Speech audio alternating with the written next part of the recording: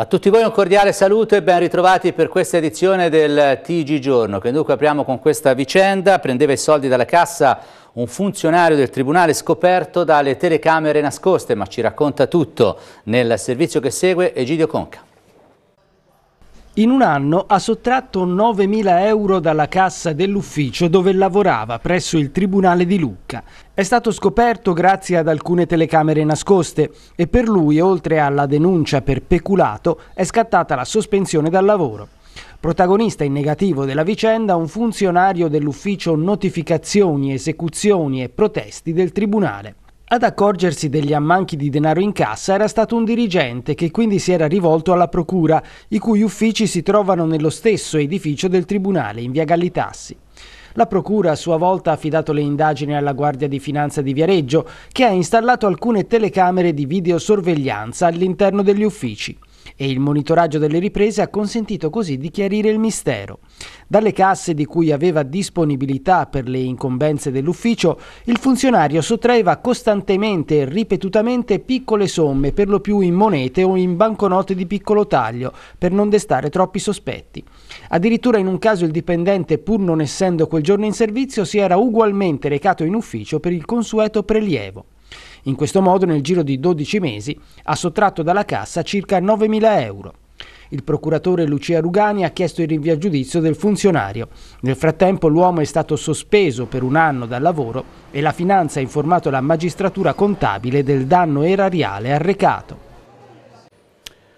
Ed ora come tutti i giorni dati relativi al contagio, ai contagi da Covid-19 lo facciamo andando sul nostro sito www.noitv.it, troviamo la notizia in primo piano, marcia indietro del tasso di positività in Toscana, contagi in lieve calo, leggiamo i nuovi casi registrati in Toscana sono 824 su 19.725 test, 11.389 tamponi molecolari, 8.336 test rapidi. Comunque il dato più eh, importante direi che il tasso dei nuovi positivi che è del 4,18%, pensate contro l'8,4% della giornata di ieri, aggiungiamo perché i dati sono arrivati proprio pochi istanti fa, eh, aggiungiamo che comunque al dato confortante del tasso che si è dimezzato dei nuovi positivi, purtroppo ci sono però, c'è l'aumento ancora dei nuovi eh, dei ricoverati e anche delle terapie intensive, comunque vi daremo poi tutti i dati completi sia regionali che provinciali nelle eh, edizioni del Ticino a partire dalle 17.30. Torniamo in studio e parliamo di, eh, parliamo di cultura perché c'è una sorta di derby, adesso capirete perché, tra Viareggio e Lucca. Cominciamo da Viareggio che si candida a capitale della cultura per il 2024. Viareggio avanza la sua candidatura a capitale italiana della cultura per il 2024. L'annuncio è stato fatto dal sindaco Giorgio Del Ghingaro che ha portato la proposta in consiglio comunale. Dunque, dopo la decisione di proporre alcuni degli spazi pubblici della città a sede per l'esposizione del progetto Uffizi Diffusi, l'amministrazione comunale lancia questa ulteriore opportunità per valorizzare il patrimonio culturale della città. L'occasione è quella rappresentata proprio dal 2024, anno in cui si celebreranno i 100 anni dalla morte di Giacomo Puccini, un evento che potrebbe fare da traino ideale per mettere la città al centro delle manifestazioni culturali in onore del maestro. Manifestazioni per le quali il neocostituito Comitato per le celebrazioni pucciniane 2024-2026 si è fatto promotore presso il Ministero per l'ottenimento di una legge speciale per le celebrazioni. Proprio in concomitanza di questo evento noi eh, proporremo la nostra candidatura a capitale eh, della cultura. Lo facciamo consapevoli che sarà un percorso eh, complicato, sarà un percorso difficile, ma eh, sarà un percorso appassionante, intrigante, suggestivo, eh, nel quale saranno coinvolti tutti, tutti gli stakeholders territoriali e non solo territoriali. Oggi lanciamo questa nostra candidatura in forma ufficiale eh, a breve presenterò al Consiglio Comunale questa, questa nostra idea e inizierà questa straordinaria avventura. Adesso dunque, dopo il passaggio in Consiglio Comunale, inizierà l'iter per presentare questa candidatura al giudizio dei sette esperti designati dal Ministero dei Beni e delle Attività Culturali, che dovranno esprimersi in merito. Per il 2022 la scelta è andata all'isola di Procida, a Napoli, mentre per l'anno corrente è rimasta in carica la città di Parma, già capitale nel 2020, ma la cui proroga è stata inserita nel decreto rilancio. Abbiamo parlato di derby, in questo caso non calcistico, bensì culturale, perché andiamo ancora sul nostro sito, è arrivata la risposta del sindaco di Lucca, Alessandro Tambellini. Con un video pubblicato su Facebook il sindaco si è definito sorpreso della candidatura a capitale italiana della cultura 2024 di Viareggio, annunciata ieri dal sindaco del Ghingaro. Questo perché, dice Tambellini, Lucca si era già proposta lo scorso settembre ed Eugenio Giani, che sarebbe poi diventato presidente della regione, aveva garantito il suo appoggio alla candidatura. Dal derby per la cultura alla vicenda delle ringhiere sulle mura urbane di Lucca. Si fa sempre più concitata la battaglia contro le ringhiere sulle mura urbane di Lucca. Con oltre mille firme raccolte in tre giorni, il gruppo consigliare di opposizione Siamo Lucca è tornato a rilanciare ancora una volta la sua contrarietà all'installazione delle balaustre metalliche su gran parte del perimetro interno, la parte più contestata del progetto di valorizzazione e messa in sicurezza delle mura riguardante le misure per prevenire le cadute. All'iniziativa di Siamo Lucca ha preso parte anche il senatore di Forza Italia Massimo Mallegni.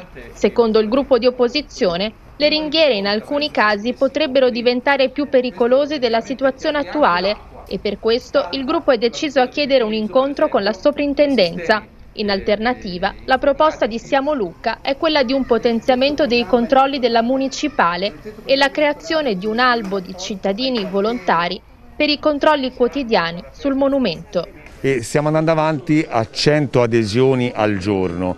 È un modo questo per ribadire che la battaglia è giusta, per ribadire che da un accesso agli atti che abbiamo fatto eh, abbiamo scoperto che le ringhiere sarebbero estese su un perimetro di circa 3 km, nella parte interna ovviamente, che probabilmente alcune, alcune di queste balaustre verranno messe anche all'interno di alcuni baluardi, quelli ritenuti più a rischio, e anche eh, davanti una porta come questa, eh, che eh, storicamente è sempre rimasta in questo modo.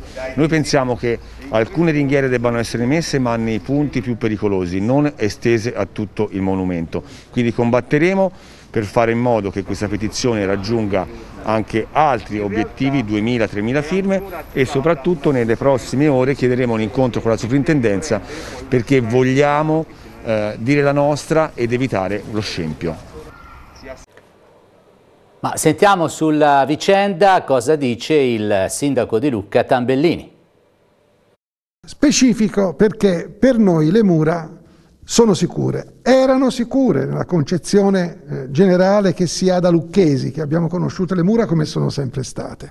Poi sono accaduti alcuni fatti che hanno avuto la rilevanza che tutti conoscono perché poi qualcuno sta eh, pagando in termini interiori notevole, notevolmente ciò che si è verificato e le azioni giudiziarie susseguenti, per cui le mura si è ritenuto di doverle mettere ulteriormente in sicurezza, cioè ancora stabilire maggiori criteri di sicurezza. Il progetto si vedrà, le barriere, se ci saranno, saranno dove saranno, saranno esclusivamente all'interno, dall'esterno non si vede niente, sono la continuazione delle barriere che già oggi esistono con la croce, con la croce interna, è un modello romano tra l'altro, perché è un modello antichissimo come, come struttura, è un processo del tutto reversibile, per cui domani, andato via il sindaco Tambellini, il prossimo che ci sarà, se non ama le barriere, perché si fa un gran clamore su questo, prende la mola, si mette lì con un camioncino accanto e tira tutto al feraccio. Peraltro c'è una legge oggi che addossa tutto, ah, tutto quello che accade ai sindaci, per cui un sindaco è responsabile delle cavallette, del, del tempo che fa, della, della nevicata, di, di, tutto quello che arriva, no? della botta dell'acqua, eccetera, eccetera. Quindi è necessario anche poter finalmente svolgere il proprio lavoro con un, un minimo, minimo di tranquillità. No? Questo è il sindaco Tambellini. Cambiamo argomento, ci sono importanti novità per quanto riguarda il laghetto dei Cigni di Viareggio. Sono partiti i lavori di svuotamento e manutenzione del laghetto dei Cigni nella pineta di Ponente a Viareggio, un'operazione straordinaria che mancava da diversi anni che consentirà di ripulire il fondale e la vasca di un luogo particolarmente caro ai viareggini che da anni raccoglie anche il ricordo del disastro ferroviario del 2009. L'intervento è stato coordinato dagli uffici tutele animali del comune insieme ad Iker, che ha in affidamento il sito, SEA, Polizia Municipale, WWF e la Vega Soccorso Animali. Insieme alla recinzione dello specchio d'acqua, gli operatori hanno provveduto a prelevare i volatili presenti. Si tratta di due cigni, pulce e tanacca e di 14 germani e alcune tartarughe esotiche. Saranno tutti trasferiti temporaneamente all'Oasi WWF di Marina di Massa, al centro di recupero dell'Assiolo, dove saranno trasportati con ambulanza veterinaria. I cigni e i germani faranno ritorno a Viareggio appena i lavori saranno terminati, nel giro di pochi giorni, mentre le tartarughe esotiche resteranno ai ronchi, giudicato un habitat più adatto alla specie. Andiamo nella Valle del Serchio a fabbriche di Vergemoli dove la, la locale amministrazione comunale ha distribuito ben 12.000 mascherine. Sono circa 12.000 le mascherine chirurgiche consegnate gratuitamente dall'amministrazione comunale di fabbriche di Vergemoli ai suoi cittadini, 20 mascherine a persona. L'iniziativa del comune ha visto anche la consegna di un flacone da mezzo litro di gel igienizzante a famiglia, oltre ad alcuni saturimetri consegnati agli operatori sanitari. Abbiamo pensato di venire incontro alle esigenze della nostra popolazione distribuendo 20 mascherine a testa per oltre quindi 12.000 mascherine distribuite dai volontari, dai consiglieri del comune, a tutte le famiglie mezzo litro di gel e tramite una collaborazione con la Misericordia abbiamo dato, donato 9 saturometri in modo che chi eventualmente ne avesse bisogno può fare riferimento alla Misericordia per questo prezioso oggetto. Infatti a consegnare il materiale sanitario anche i consiglieri comunali sia di maggioranza che di minoranza coadiuvati da volontari e componenti della Misericordia di Borgo Amozzano sotto sezione della Val di Turite. Tanti gli apprezzamenti positivi per l'iniziativa firmata amministrazione comunale di fabbriche di Vergemoli. Siamo accolti bene dalla popolazione come sempre in queste occasioni. Abbiamo partecipato come Misericordia e siamo stati aiutati anche dall'amministrazione comunale, dai consiglieri, dagli assessori. Diciamo che siamo in fondo alla consegna delle mascherine e del gel. E visto che siamo tornati in tema di Covid, ne approfitto perché sono appena arrivati i dati eh, provinciali, 96 nuovi casi in provincia di Lucca, ve li anticipo, 55, eccoli qua, perfetto Marco, 55 nella piana di Lucca, 1 ad Altopascio, 23 a Capannori, 25 a Lucca, 2 a Monte Carlo, 2 a Porcari, 2 a Villa Basilica, 4, solo 4 casi nella Valle del Serchio, 1 a Bagni di Lucca e 3 a Borgamozzano e poi eh, l'altra zona della nostra provincia in Versilia, 37 nuovi casi, 2 a Camaiore, 3 a Forte dei Marmi, 2 a Massarosa, 8 a Pietrasanta, 5 a Seravezza e 17 a Viareggio.